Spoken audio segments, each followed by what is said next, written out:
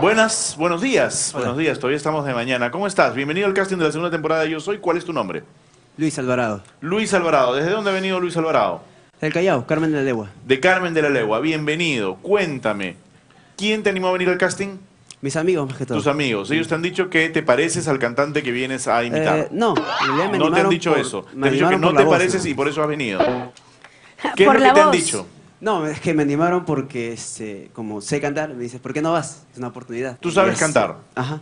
Muy bien. Discúlpame la- una preguntita que no tiene nada que ver con el canto, discúlpame Ricardo. ¿Por qué tienes el cabello tan grande, tan largo? Bueno, digamos que me gusta, sí. Ah, ¿Es para tu, tu- que, te- que la personalidad este, rockera? Sí, también. Muy bien, nada más una curiosidad. Yo sé que tú querías preguntarle eso, pero no, este, no, Como comprenderás, este, Fernando, los temas de cabello yo no los registro mucho, no, no forman parte de mi experiencia, no, no los domino, no los manejo. Bueno, Qué bueno Luis. que estés tú aquí en el jurado para ayudarnos con los temas de arreglos de cabello que aparentemente son tan importantes. Bien, volvamos por favor al casting. Cuéntame, ¿quién eres hoy día en el escenario? Hoy yo soy John Bon Jovi.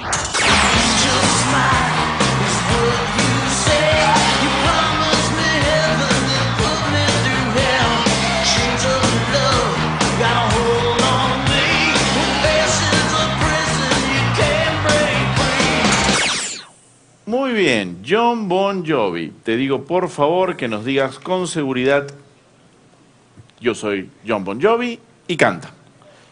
Yo soy John Bon Jovi. Angel's smile is what you say. You promised me heaven and put me to hell. Tears of love got a hold on me. When patience oppressions you can't break free. Oh,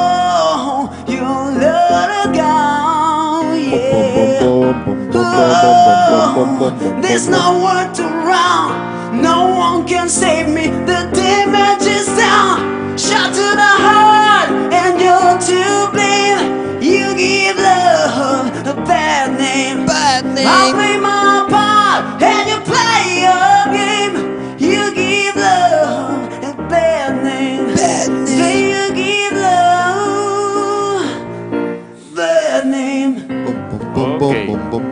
Te transformaste.